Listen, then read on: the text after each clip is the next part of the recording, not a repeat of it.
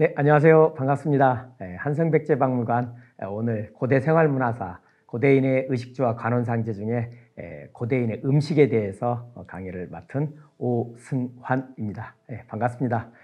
저는 가디언 문화유산 연구원이라고 하는 음, 연구원에서 음, 문화재 발굴 조사를 맡고 있고요. 또 음식 고고학을 연구하고 있습니다.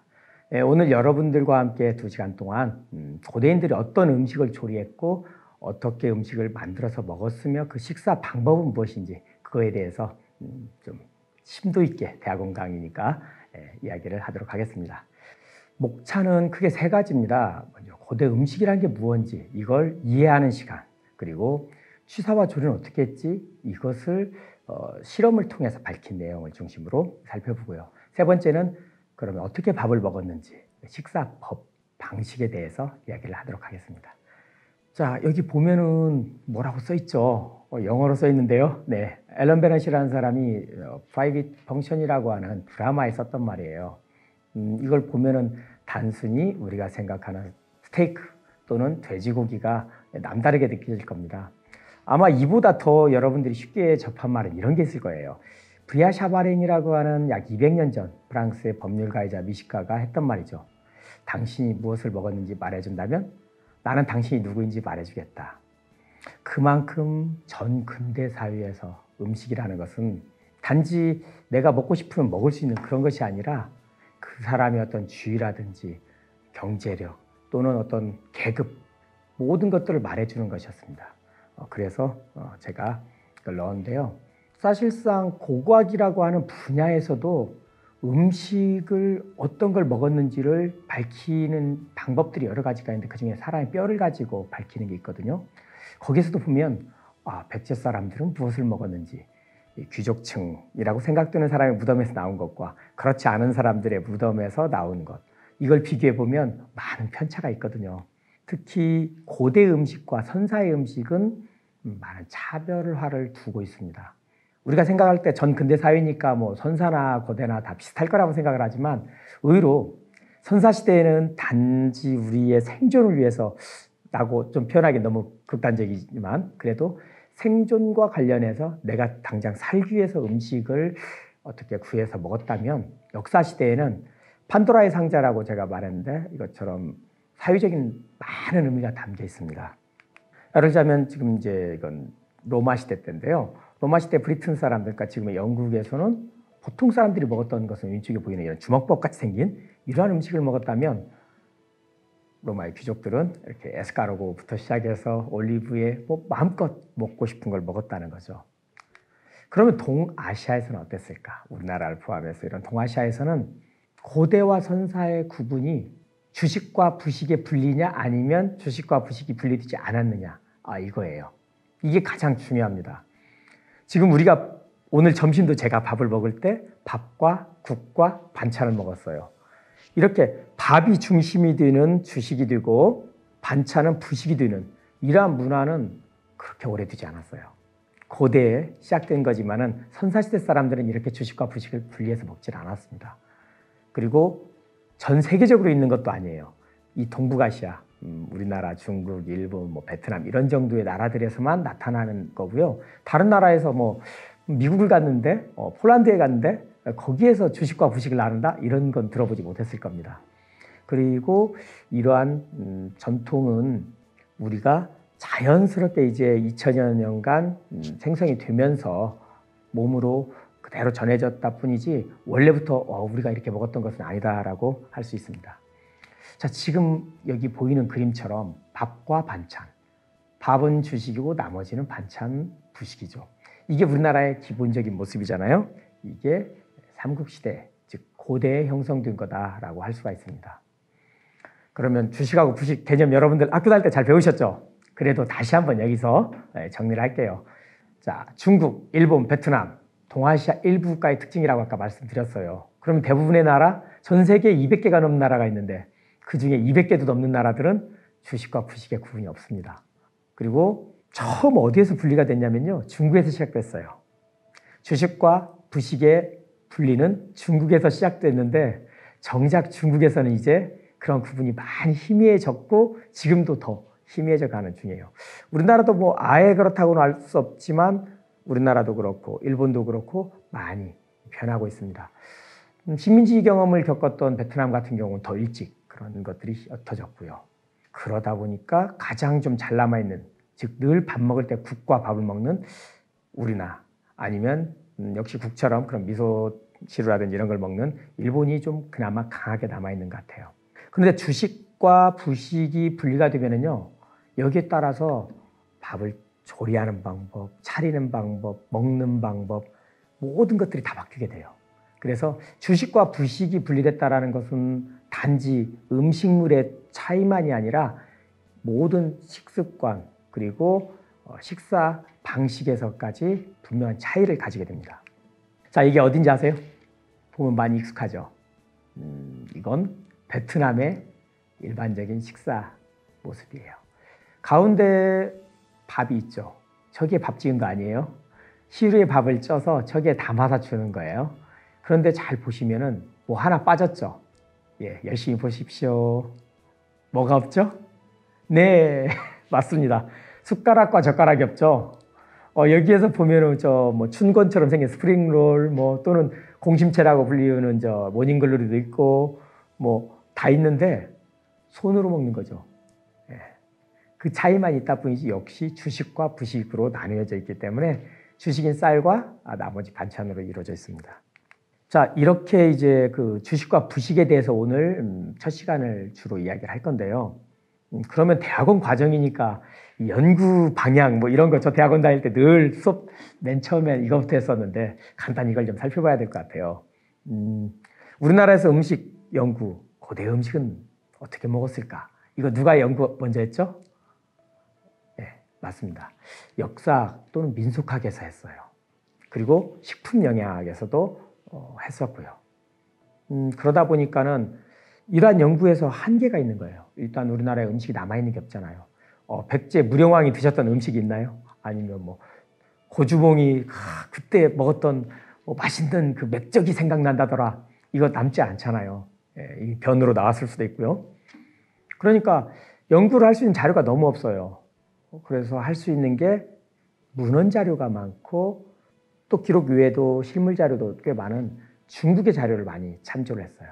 그리고 또 연구 자체가 또 발달되어 있는 일본의 자료를 많이 끌어왔어요. 그래서 그 덕분에 아 고대에는 이렇게 음식을 먹었구나 하는 것을 알게 돼서는 좋았는데 이제 연구가 깊어지고 저같이 이제 고고가는 사람들까지 끼어들다 보니까 많은 문제가 이제 드러나는 거예요.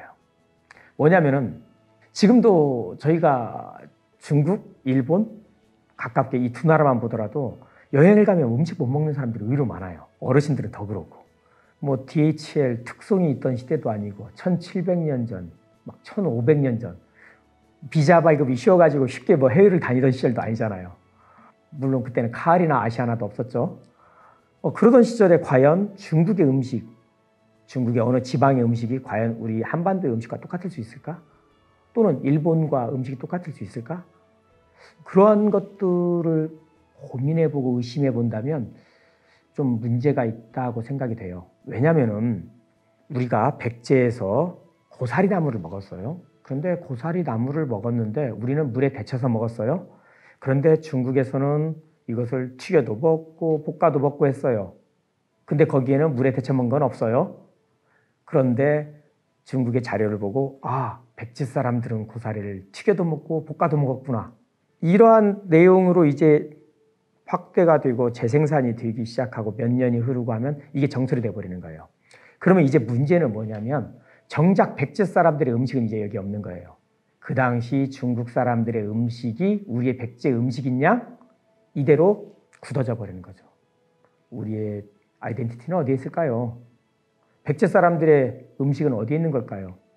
이러한 문제가 있어서 저는 이렇게 가져다 쓰는 것에서 다시 한번 되돌아보고 우리가 재검토를 할 필요가 있다라는 생각에 고고학자지만 음식을 연구하게 됐습니다. 사실 음식이라는 게 되게 보수적이거든요. 음, 그래서 지역과 어떤 시대의 차이도 되게 크고요. 음, 그런데 외국의 사례를 이제 검증 없이 무조건 갖다 쓰지 말고 우리도 우리만의 연구법 어, 그리고 우리가 연구할 수 있는 자료들을 제대로 찾아서 한번 해보자라는 생각을 가지고 음, 있습니다. 지금 이게 재민 요소를 가장 많이 좀 휘자되는 책이에요. 6세기 초에 음, 가사앱이라는 사람이 중국에서 썼던 책인데 여기에 보면 수인병이라고 하는 예를 들자면 국수가 나와요. 과연 백제 사람들도 이렇게 밀을 갈아서 국수를 만들어 먹었을까? 국수는 이 당시에 백제 없었죠. 어, 그러니까 우리가 이러한 책을 보고서 그대로 따올 수는 없다라는 것을 말씀드리는 거죠. 그러다 2000년대 들어서 고고학 계에서도 이제 우리도 음식을 연구한다 하면서 고고학자들도 한성백 지방관처럼 박물관 특강이라든지 뭐 아카데미라든지 이런 데에 음, 가끔씩 나와서 이제 음식에 대해서 이야기를 한다고 하는 경우가 있었어요. 한 20여 년 됐는데 계속 이제 누적이 되면서 저에게 많은 분들이 좀 이런 질문을 합니다. 아니 음식을 연구한다고 해서 왔는데 왜 음식은 없고 식물명, 동물명만 나열하고 끝입니까? 아, 그래서 좀 저도 좀 당황스러웠던 적이 있는데 왜냐하면은 그동안에 우리가 음식을 이야기한다면 동물고고학자나 식물고고학자들이 주로 나와서 음식을 이야기했어요. 그러다 보니까 동물고고학자들은 자기가 발굴했던 유적 또는 다른 데서 발굴되어서 분석 의뢰된 동물뼈, 생선뼈를 가지고 아 여기는 복어뼈, 이것은 고등어뼈 또는 아 이건 사슴뼈, 노루뼈 이걸 밝히는 것을 하는 분들이 음식을 말하다 보니까 사람들은 아 그러니까 노루로 부어 먹은 거예요, 쪄 먹은 거예요, 회를 쳐 먹은 거예요 이걸 궁금해하는데 아 노루뼈, 사슴뼈 나왔습니다.로 끝나버린다는 거죠. 그러니까 이걸 음식이라고 생각하는 사람들에게서는 좀 많이 부족한 감이 있었던 거죠. 식물국악도 마찬가지죠. 어떤 식물들이 나왔다고 하는 것들이 씨앗으로 남는 경우가 드물게 남아 있고 아니면 꽃가루를 통해서라든지 다른 여러 가지 이제 음, 분석을 통해서 밝혀지는데 이 역시도 종명의 나열이지 그 자체로 아 이런 쓴바귀 씨앗이 나왔으니 쓴바귀를 그럼 어떻게 해 먹었을까 이런 것까지는 음, 밝히지 못했죠. 그런 것들이 좀 한계가 있었던 거죠. 어, 예를 들자면 이런 게 있습니다. 음, 원주 법천리라고 하는 유적에서 무덤 안에서 백합조개가 나왔다. 또는 뭐 풍납토성에서 백합조개가 나왔다. 자, 그러면 어떻게 생각하겠어요? 아, 백합조개는 바다에서 자라는 건데 여기에서 나왔으니까 그 당시에 상당히 의미가 있다. 그렇죠. 정치적으로 어떤 영역이라든지 또는 교역 관계로서도 중요한 의미가 있지만 음식 자체로는 큰 의미가 물론 없는 건 아니지만 그리 중요한 사항은 아닌 것 같아요. 음, 그래 나왔지. 근데 이걸 어떻게 해 먹었지? 뭘 해 먹었지? 이거에 대해서는 연구의 중요한 대상은 아니니까요. 음, 그래서 우리가 어떤 것들이 나왔다라고 하는 것들, 어떤 것들이 출토되었다라고 하는 것은 중요한 의미를 갖지만 그 자체로서 음식은 아니기 때문에 음, 고각에서의 음식 연구에 대해서 그동안 많은 비판들이 이런 데 있었던 거죠. 어, 그러다 보니까 이제 민속 자료나 민족지 자료들을 많이 좀 갖다 쓰는 경우가 있습니다. 뭐냐면은 이 다음 장에서 제가 그림으로 보여드릴 텐데 현재 또는 전 근대 사회에서 먹는 음식들을 보여주면서 그래 이것이 고대에도 먹었을 거야라고 하는데 거기에서도 많은 문제가 좀 있거든요. 그래서 이러한 것들을 해소하기 위해서 2010년대부터 이제 실험 고고학이 사용되고 그리고 자연과학 분석을 많이 사용하게 됐습니다. 이걸 통해서 고대 사람들은 어떤 재료를 어떻게 가지고 취사도 하고 음식을 만들어서 식사 방식은 어떤 식으로 했던 건지 이걸 밝히기 시작했습니다. 자, 이제 한번 볼게요. 자, 발굴된 동식물의 종과 음식의 상관관계라고 했는데 아까 말씀드렸듯이 이렇게 백합조개가 나왔고 뭐가 나왔고 그러다 보니까 이것으로 끝나버리는 거죠. 그런데 이것을 어떻게 먹었는지는 알 수가 없는 거죠. 그러다 보니까 현재 쓰이고 있는 용봉탕을 사진을 넣어서 이렇게 먹었을 거다라고 이제 추정을 하게 되는데 여기에서 문제가 있어요. 지금부터 만 2000년 전쯤 되면 이제 빙하가 물러가고 후빙기, 지금의 홀로세가 돼요. 온도가 지금과 물론 중간중간에 더 춥고 더웠던 때도 있지만은 거의 비슷해지고 기후 환경이 비슷하다는 건 서식하는 동물이나 식생하는 식물들이 다 비슷해졌다는 거예요. 지금과. 오늘날과 큰 차이가 없다는 것은 저런 자료들을 보여줬을 때 그래 지금도 자라가 자라니까 지금도 백합이 자라니까 당연히 먹었겠지 감흥이 없다는 거죠. 보시는 분들이. 그래서 그걸 어떻게 먹었다는 거지? 를 말해주질 못하니까. 자, 발굴해보면 무덤에서 이렇게 나오죠. 왼쪽엔 닭뼈 같고 오른쪽엔 무슨 생선뼈 같고 밑에는 고등 같고 이런 걸 넣어줬겠죠. 그러면 그동안은 아 이건 닭이 나왔다로 끝났어요. 어느 부분을 잘라서 넣었다. 그런데 이제 이걸 어떻게 조리를 했는지 찜을 한 건지 그리고 이것을 볶은 건지 어떤 조리를 했는지를 밝혀야 된다는 거죠. 왜냐하면 우리도 제사 음식을 한번 볼까요? 자 보십시오. 제사 음식에 별게 다 올라가죠. 지금 이건 주로 이제 기름에 지지는 부분들만 넣은 겁니다. 자 이렇게 제사 음식을 해서 넣는데 종류도 다양하고 조리법도 다양하죠. 그런데 그저 어, 어떤 종, 어떤 생명체, 어떤 생물 종인지만 밝히는 것은 좀 한계가 있다라고 할 수가 있습니다. 그래서 이제 진짜 아, 오늘 이야기할 것은 바로 여기서부터입니다. 그렇다면은 아까 말씀드렸듯이 자료는 많지도 않고 실제 우리가 밝힐 수 있는 것들은 한계가 있는데 뭘 어디서부터 시작을 해야 될까? 이런 고민을 할 겁니다. 그래서 취사와 조리 부분을 먼저 어, 연구를 해봤죠. 자, 화덕, 부뚜막, 조리용기, 토기를 말하는 거죠. 이런 것들이 발굴해 보면 유적에서 엄청 많이 나옵니다.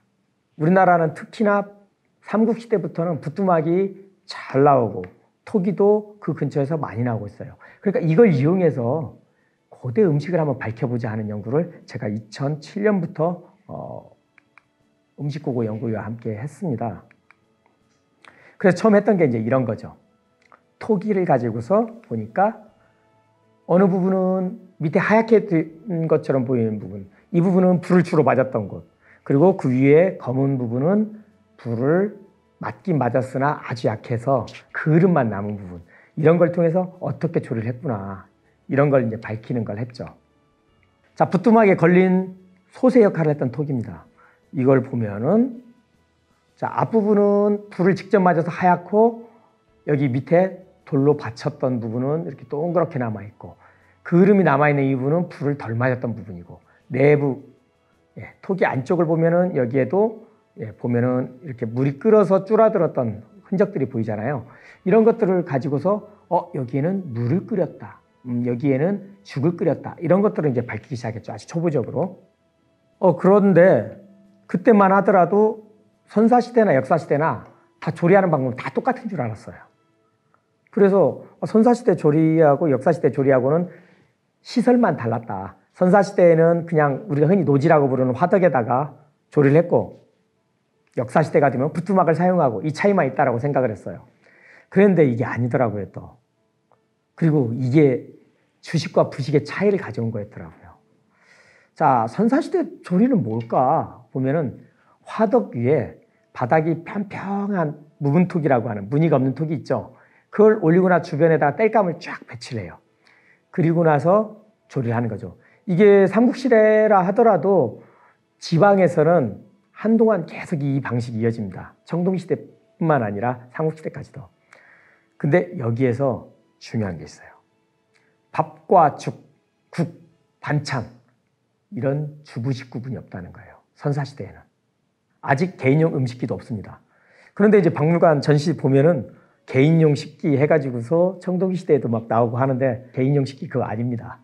예, 잘 몰랐으니까 이제 그러는 건데 이 당시에는 음식을 만드는 토기에 음식기 분화가 없었다. 즉 밥을 하면은 한 그릇에 부어서 같이 먹었던 거지 네 그릇 내 그릇을 나눠서 먹질 않았다라는 거예요.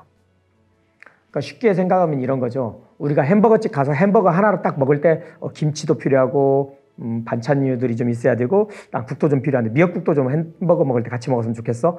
이런 어르신은 계실지 모르겠지만 보통 우리는 햄버거 하나로 끝나죠. 어, 또는 기껏 소스를 찍어 먹는 정도죠. 그렇게 한 번에 먹었다는 거죠. 선사시대엔 주식과 부식의 구분 없이 그냥 그 자체가 음식일 거예요. 그러니까 여기에는 다양한 것들이 들어간 제가 이게 그 사진을 보여주면 나중에 개밥이라는 말까지 제가 나중에 듣는데 좀 뭐라고 표현해야 될지 를 모르겠어요. 잡탕이라고 말은 하긴 해야 되겠는데 여하튼 어, 그렇게 이제 음식을 하는 겁니다. 그러니까 이때는 밥 반찬이 아니라 오로지 하나의 음식인 거예요. 어, 그러면은 이렇게 음식을 먹을 때는 하루에 몇 끼를 먹었을까? 하루에 보통 한 끼 정도. 지금 우리가 먹는 것처럼 하루에 세끼 먹는 건 상당히 근대의 일이고요. 어, 리차드 리라고 하는 그 인류학자가 연구한 쿵푸시멘족을 보면 이 쿵푸시멘족은 한 번 먹고 13일, 16일 뭐 이렇게 밥을 안 먹고 버티는 경우도 있습니다. 예, 근데 그렇게 굶게 되면 우리들은 뼈에 기하선이라고 했고 생장에 저해가 왔던 그 흔이 나타납니다. 그 뼈에도. 음, 그래서 기하선을 보고 아 선사시대 사람들도 얼만큼 기하에 허덕이며 살았구나 이런 것들을 알게 되는데 여하튼 하루에 몇끼 개념은 최근에 생겨난 관습이고요. 거의 조선시대에도 두 끼 정도 생각하시면 됩니다. 물론 역시 아까 계급을 제가 말씀드렸지만은 에, 더 높으신 분들은 세 끼도 먹고 다섯 끼도 먹고 하셨죠. 여하튼 전 근대 사회에서 끼니는 제각각이었다. 그러면 그 시대에 어떤 음식을 먹었는지를 살펴볼게요. 자, 여기 보면 신석기 시대의 빗살무늬턱이죠. 이게 바로 선사시대의 대표적인 형태입니다. 보시면은 이 안에 쌀만 있는 게 아니라 쌀도 없었죠. 이때 무슨 고기 같은 거, 뭐 식물 같은 거, 버섯 같은 거 뭐 대충 넣고서는 끓이는 거죠.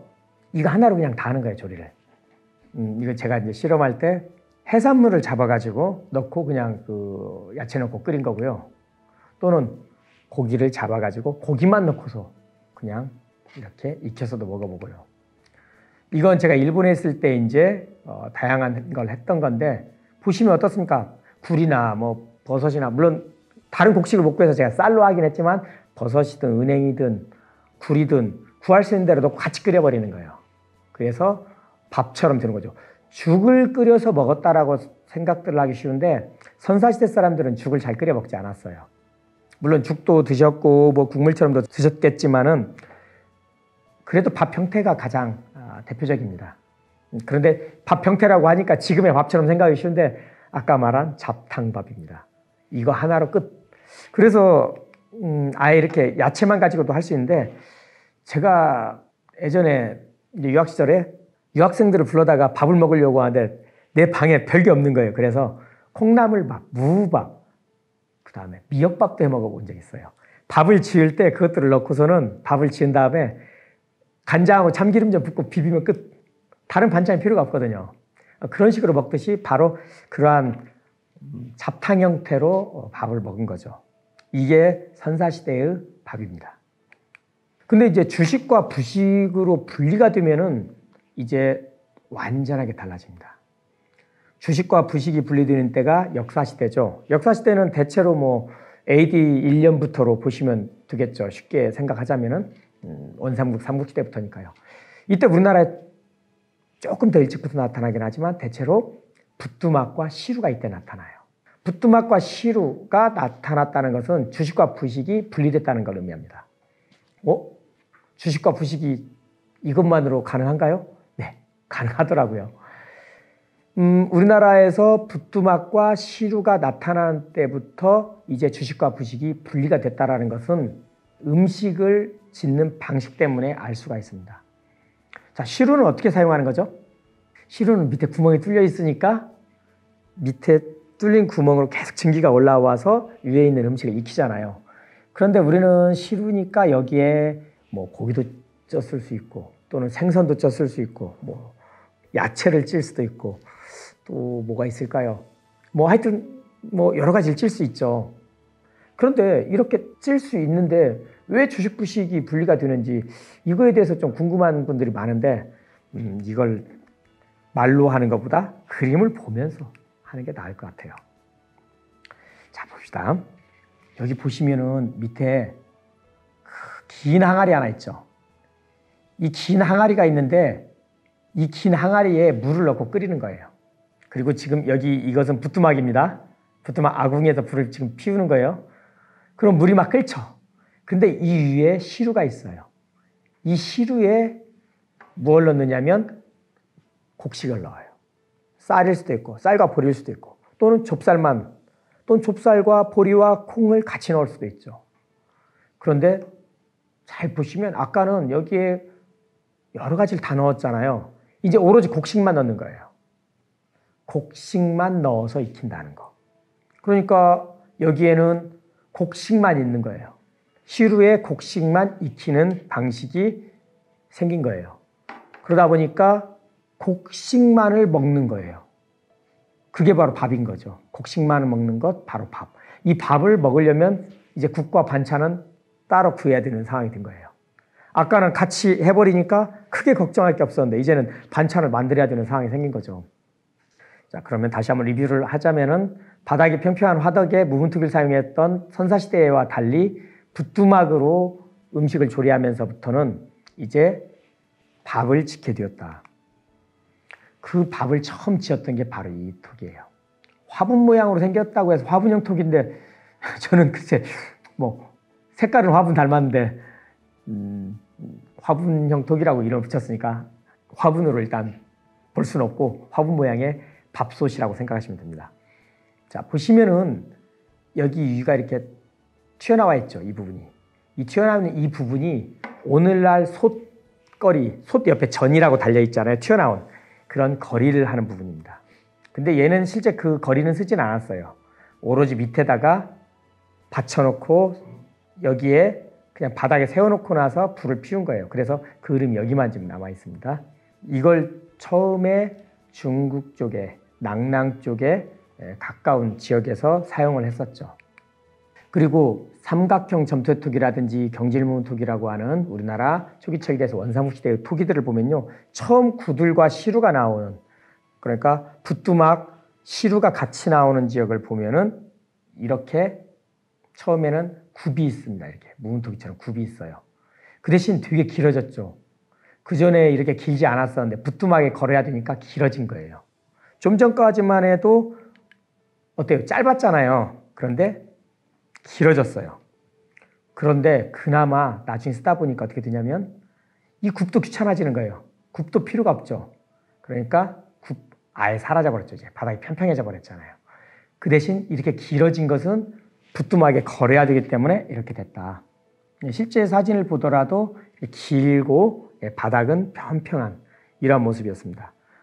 그러다가 이제 이것이 둥근 장난형 토기로 바뀌게 됩니다. 어떻습니까? 둥글죠. 이렇게 둥근 장난형 토기로 바뀌고 이것을 실을 얹어서 사용하는 겁니다.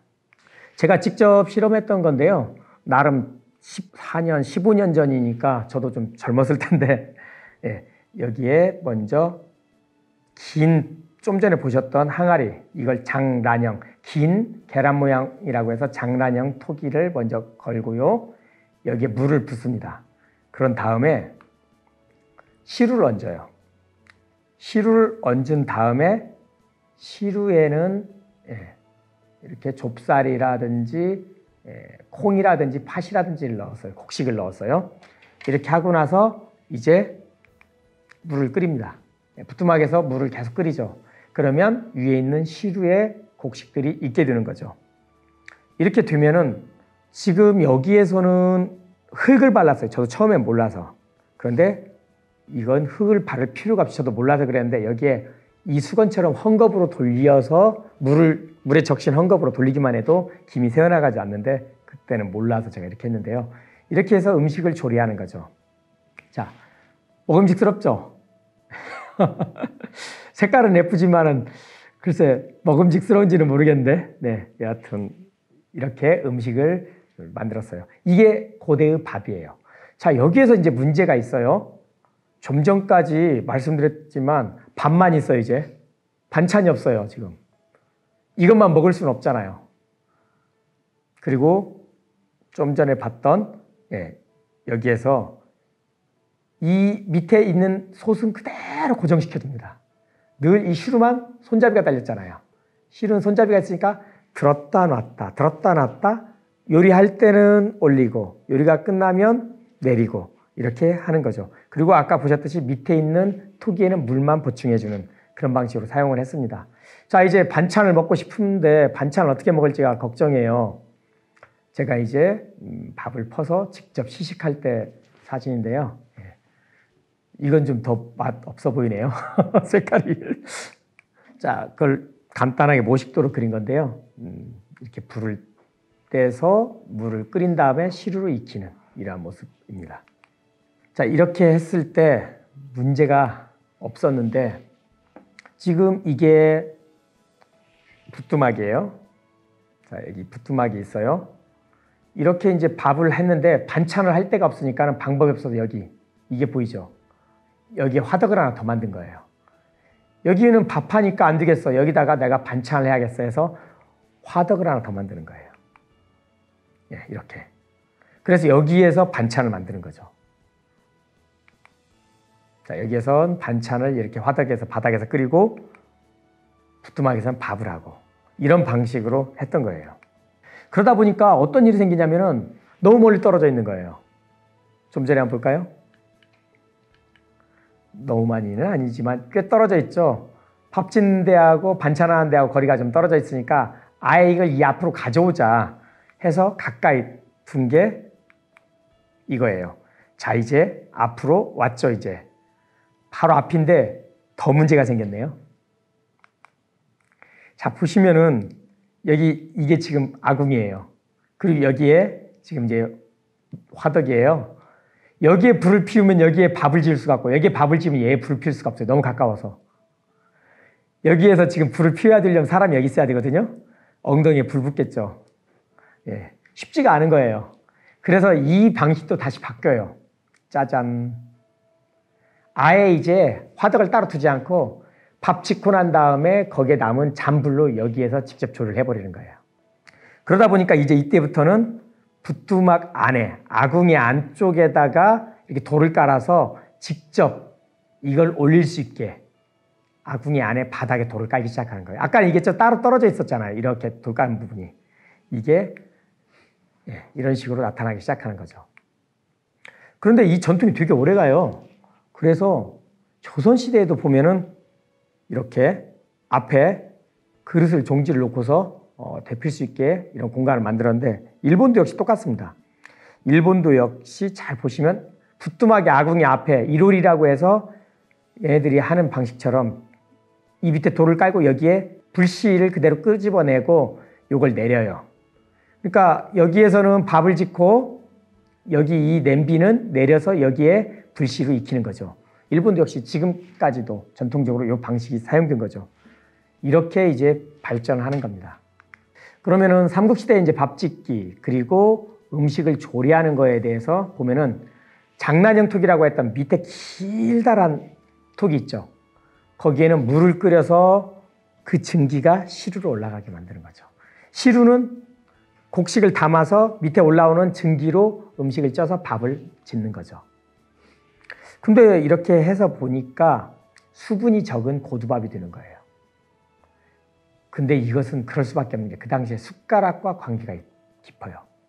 이따 이 다음 시간에는 음, 숟가락을 가지고 이야기를 하겠지만은 숟가락을 쓰지 않고 손으로 먹기 때문에 이렇게 고두밥인 겁니다. 음. 그리고 시루에는 밥 말고도 구근류라면 뭐가 있죠? 구근. 아, 구근은 뭐가 있을까? 무도 구근인가? 뭐 이렇게 생각이 들 텐데 네, 당근도 구근일 텐데 마도 이렇게 뿌리 식물들이 구근이죠. 그리고 견과류. 뭐 밤을 찐다든지 이럴 때도 어, 시루에 칠 수 있죠. 또 각종 열매라든지 생선, 육류. 우리가 뭐 가오리 같은 경우도 가오리 찜 이렇게 해서 찌지 않습니까? 또는 고기도 어, 쪄서 먹잖아요. 우리 수육 또는 뭐 왕족발, 보쌈 같이 먹는데 보쌈이 바로 찌는 겁니다. 이렇게 예, 이렇게 바로 생선, 육류 등을 시루에 찌기도 했다. 밥 말고도. 그리고 장난형 토기는 많은 양의 국물 요리를 끓여야 될 때, 이럴 때는 어쩔 수 없이 여기에다가 끓여야 되겠죠. 음, 그래서 음, 이렇게 썼습니다. 그런데 신발형 토기라고 하는 토기는 바로 반찬을 만들거나 국을 끓이는 거예요. 그런데 이렇게 생겼죠. 깊은 발이, 발이라고 하는 그릇이 더 깊다 해서 깊은 발이라고 하고 이걸 한문으로 쓰면 깊은 심자를 써 신발형 이라고 하죠. 그런데 이게 신발형 토이가 삼국시대 주요한 음식 조리용기인데 바로 이 직전에 뭘 썼냐면은 경질문 토기 단계인 원삼국시대에는 이걸 썼어요. 엄청 길었죠. 잘 보시면 얘가 사라지는 이유가 뭐겠어요? 부뚜막 사용 때문이에요. 이렇게 긴 이유는 얘를 부뚜막에 걸어서 썼어요. 그런데 이제 부뚜막에 걸어서 쓰는 것은 장난형 토기로 바뀌니까 얘를 써먹을 데가 없잖아요. 얘의 키가 낮아지는 거예요. 이렇게. 왜 낮아지죠? 부뚜막에 아궁이 속으로 들어가야 되니까. 부뚜막 아궁이 밑에서 이제 밥 짓고 난 불씨로 음식을 조리해야 되니까 낮아져야 되죠. 아궁이 안으로 들어가야 되니까 대신 넓어져야죠. 얘보다 넓어졌죠. 그 대신 낮아졌죠. 그러니까 이제 신발형 투기는 아궁이 안에서 또는 아궁이 앞에서만 조리하고 여기에다가 반찬, 국 이런 걸 음식을 만들었고 시루에다가는 밥만 했던 거죠. 그러니까 삼국시대 음식은 바로 요 패턴으로 음식을 조리를 했던 거죠. 네, 보시면은 음, 이렇게 하는 겁니다. 물론 아궁이 안에다 넣고도 충분히 할 수 있고요. 깊이 들어가죠. 자 보시면 어떻습니까? 아궁이보다 훨씬 낮으니까 아궁이 안쪽으로 들어갈 수가 있잖아요. 높이를 보시면은. 그러니까 여기에서 음식을 조리를 하는 거죠. 익혀서. 여기서 죽도 끓여보고 다양한 걸 해봤는데요. 네. 잘 끓어 넘치고 있습니다. 아궁이 안쪽에 넣어보니까 어떻습니까? 불씨가 생각보다 많이 남아있죠. 그리고 여기 보면은 지금 이것보다 더 올리기도 한데요. 불씨가 식기 전에 여기 이 정도 위에까지 불씨를 덮어주는 거예요. 그래서 불씨를 덮어주면 더 많은 열 효율을 받을 수 있겠죠. 이렇게 예, 여기 위에까지 불씨를 덮어서 어, 쓰기도 하고 이 신발형 투기는 다양한 음식 조리가 이루어졌습니다. 그런데 보시다시피 이렇게 손잡이가 달린 것들도 좀 나와요. 왜 그러겠어요? 자 여기에 넣었는데 여기 같은 경우 상관없지만 이 아궁이 앞에 이렇게 놓고 난 뒤에 집으려고 하면 되게 뜨겁잖아요. 뜨거운데 두 손을 아궁이 안쪽에 넣어서 이렇게 빼려면 힘들잖아요. 그러니까 이렇게 손잡이가 달려있으면 얼마나 편리하겠어요. 손잡이만 잡고 쑥 빼면 되니까. 그래서 이 신발형 토기에 손잡이 달린 사례들이 점점 늘어나는 거죠. 음, 사람들은 자기의 편리에 맞게 계속 어, 개량을 하는 거니까요.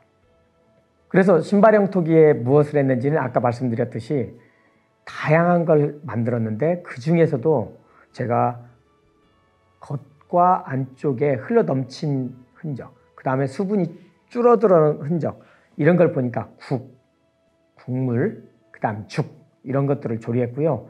그 다음에 여기에 불타서 달라붙은 그러니까 탄착근이라는 게 불탄 눌러붙은 흔적들입니다.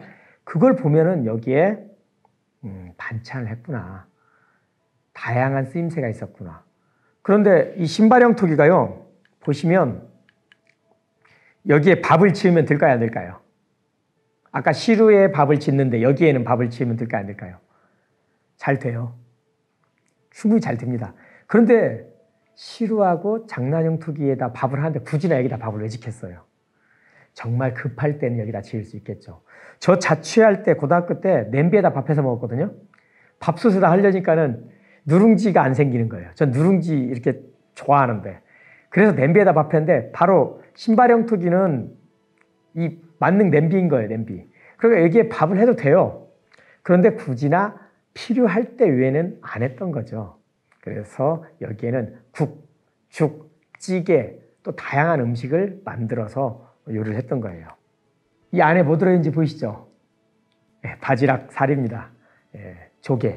조개를 넣은 거고요. 조개탕도 끓이고 또는 뭐 이렇게 나물을 넣고서 데치기도 하죠. 쥐나물이라든지 이런 것들 넣고서 데쳐서도 먹을 수 있고. 그러니까 여기에 다양한 조리를 하는 거예요.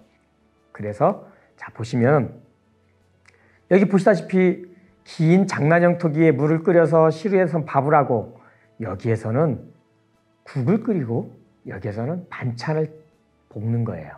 이런 식으로 재를 이용해서 불씨가 있는 재를 이용해서 동시에 하나의 세트로서 요리가 이루어진 거죠. 이렇게 되니까 밥과 반찬이라고 하는 주식과 부식의 완성이 되는 겁니다.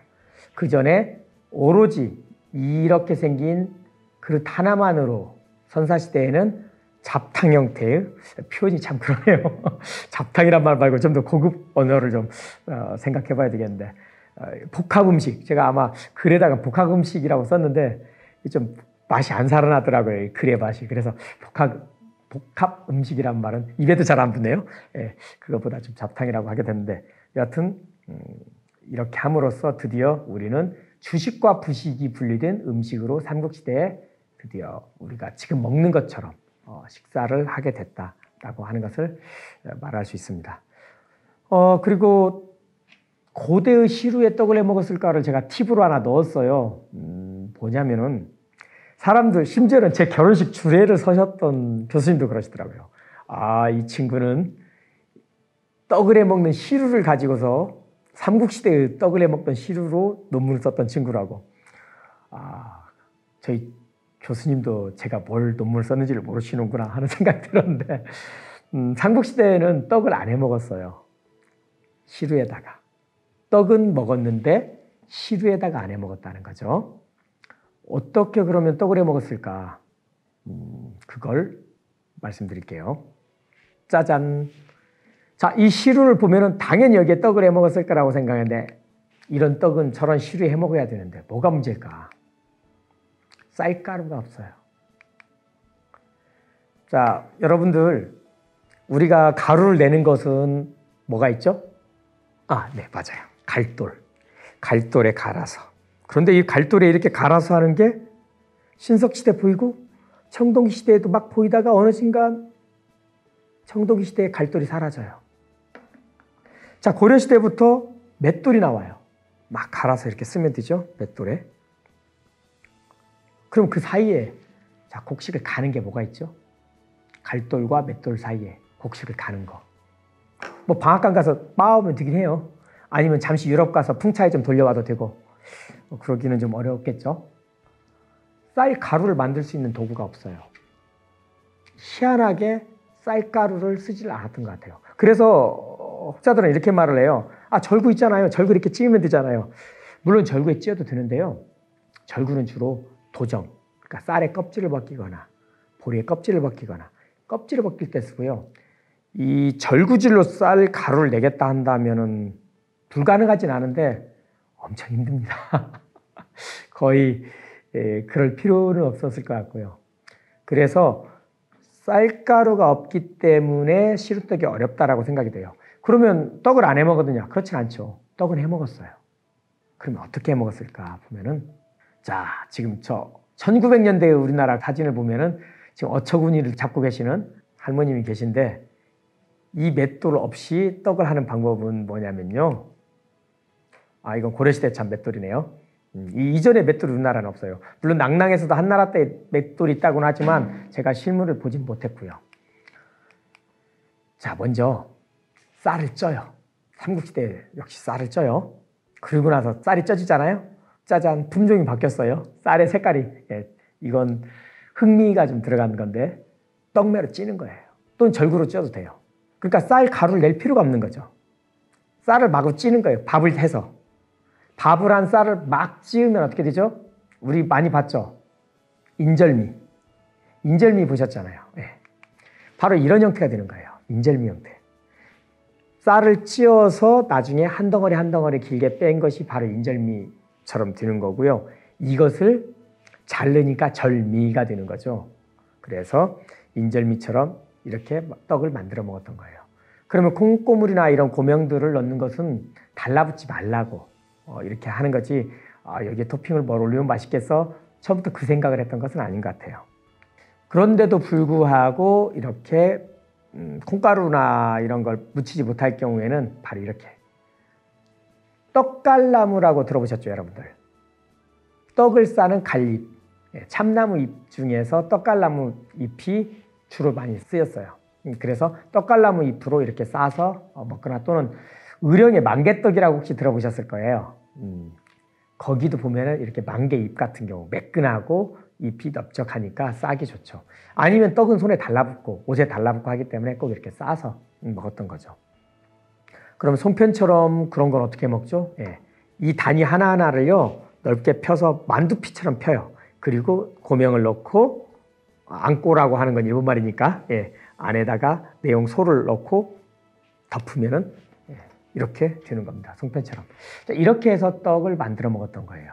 그러니까 맷돌이 없었던 시절에 떡을 만드는 방식은 그거기 때문에 삼국시대에는 시루에 떡을 직접 우리처럼 시루떡을 해 먹었던 것이 아니라 밥을 지어서 그걸 찌어서 찐 밥으로 떡을 만들어 먹었던 것입니다. 그래서 시루를 보면 음, 뭐떡 찌는데 아예 무관했던 건 아니지만 떡 자체를 찌던 도구는 아니었다라는 것을 알 수가 있죠.